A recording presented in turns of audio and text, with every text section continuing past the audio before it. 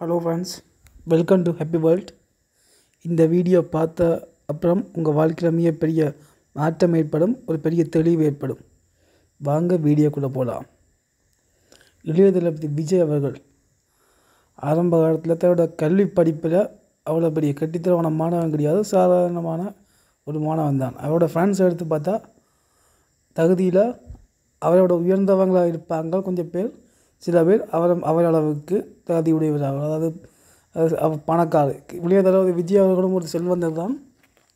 அவருடைய நண்பர்களும் செல்வந்தர்களாக சில பேர் அவரை விடவும் செல்வந்தராக இருந்தார்கள். இவர் வந்து சூப்பர் ஸ்டார் ரஜினியோட தீவிர ரசிகனாக ஆரம்பத்தில் இருந்தார்.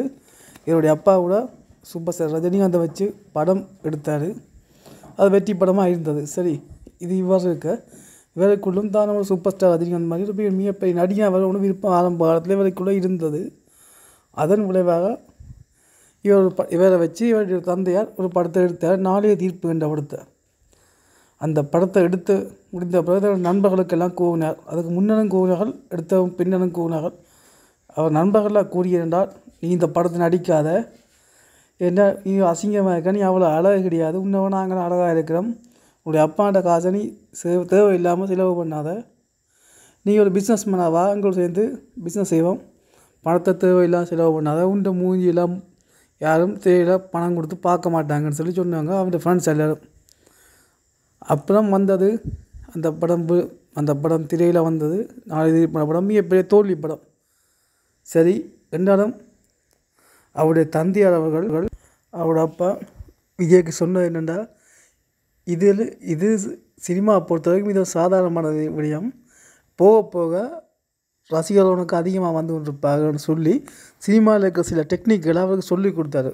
என்னென்னடா கவர்ச்சி நடிகைகளை வச்சு படத்தை எடுக்கிற. அந்த நடிகைகளை பார்க்கறதுக்காகவே கொஞ்சம் இளைஞர்கள் வருவாங்களான்ட்டு ரெண்டாவது பெரிய ஸ்டார்கள் அந்த சிறிய ஸ்டார்களோடு சேர்ந்து நீ நடிக்கிறது. அதாவது விஜயகாந்த் பண்ணுற பெரிய ஸ்டாரோட. விஜயகாந்தோட சேர்ந்து ஒரு படத்தை எடுத்தார். அது என்ன படம்ன்றா செந்தூர பாண்டியன்ற படத்தில் விஜயகாந்தோட சேர்ந்து நடித்தார் ஏன்னா இவர்கிட்ட முகம் மக்களுக்கு பழக பழகத்தான் மக்கள் இவரில் ஈடுபாடு வரும். இவற்ற படங்களை பார்ப்பினம் உண்டு. அப்படியே சொல்லி அந்த டெக்னிக்கை பின்பற்றி இவர் நடித்து கொண்டு வந்தார்.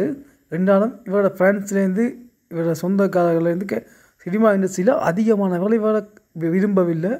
நெகட்டிவிட்டியை பரப்பி கொண்டே இருந்தார்கள் அப்போ அதையும் போய் தன்னுடைய தந்தைக்கு அதோடைய அப்பாவுக்கு போய் சொல்லியிருக்கிறாரு.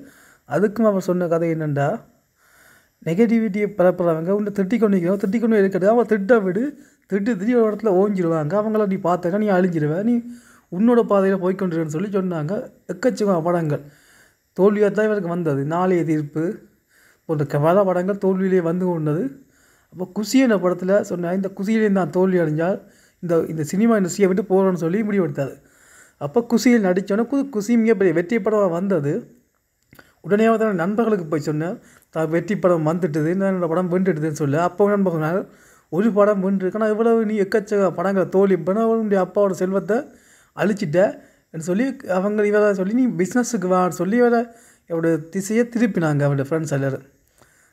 இருந்தாலும் அவன் மீண்டும் விடையில் தொடர்ந்து நடிச்சுக்கிட்டு இருந்தார். தோல்வி படம் வந்தது. திருமலை என்ற படத்தில் மிகப்பெரிய திருப்பம். அதில் மிகப்பெரிய வெற்றியை வெற்றி படமாக வந்தது. மிகப்பெரிய வெற்றி அவர் கிடைச்சது. அப்போ நண்பர்கள் அவரோட நண்பர்கள் மட்டும்தான் இவரை திட்டினார் தவிர எக்கச்சக்கம் ரசிகர்கள் திருமலையிலிருந்து இவருக்கு வேலை தொடங்கினாங்க. காலப்போக்கில் திட்டிக்கொண்டு இந்த நண்பர்களே பிறகு அவர் விஜயா விஜயோட வாழ்த்தி திட்ட என்ன திட்டி திட்டி அவருக்கு அழுத்து போயிடுச்சு. இனியும் திட்டிய பிரயோசனம் இல்லை. பொறாமையெல்லாம் அவங்க திட்டினாங்க. கடைசியாக விஜயை ஏற்றுக்கொள்ள வேண்டிய மேலே அவங்களுக்கு வந்துடுது. அதுக்கு பிறகு விஜய் தன்னுடைய வாழ்நாளில் இன்னும் பல விடயங்களை கற்றுக்கொண்டு தான் இருந்தார். சினிமா நடிப்பில் நடிப்பில் டான்ஸ் ஃபைட்டிங்னு தொடர்ந்து கட்டுக்கட்டை இருந்தால் தவிர அவர் ஓய்ந்து போகவில்லை. இப்போவும் நம்ம இடத்துக்கு விஜய் அவர்கள் வந்து கொண்டு தான் இருக்கிறார்கள். அது மட்டும் ஒரு இடத்துல போனால் இப்படி ஸ்பீச் எப்படி கதைக்கோணமென்று கூட அவர் பயிற்சி எடுத்துக்கொண்டு தான் இருக்கிறார். அதை கூட சின்ன சின்ன விஷயம் கூட நுணுக்கமாக பயிற்சி எடுத்துக்கொண்டு இப்போ இதுவரைக்கும் இருந்து கொண்டிருக்கிறார் விஜய் விஜய் விஜய் அவர்கள்.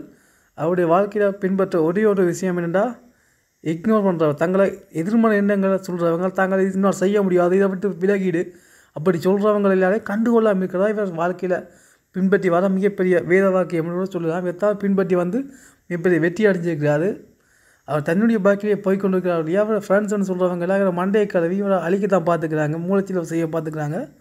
இருந்தாலும் அவர் அதை கேட்டுக்காமல் இருந்தால்தான் அவர் மிகப்பெரிய வெற்றி அடைஞ்சிருக்கிறாரு. இதுதான் இளையதளபதி விஜய் அவர்களுடைய வாழ்க்கையின் வெற்றியின் ரகசியம். அடுத்து நாங்கள் விக்ரம் அவருடைய வாழ்க்கையின் வெற்றியின் ரகசியத்தை இன்னொரு பதவியில் பார்த்துக்கொள்வோம் நன்றி நண்பர்களே. லைக் பண்ணுங்கள் சப்ஸ்கிரைப் பண்ணுங்கள் பிடிச்சிருந்தால் கமெண்ட் பண்ணுங்கள் பாய்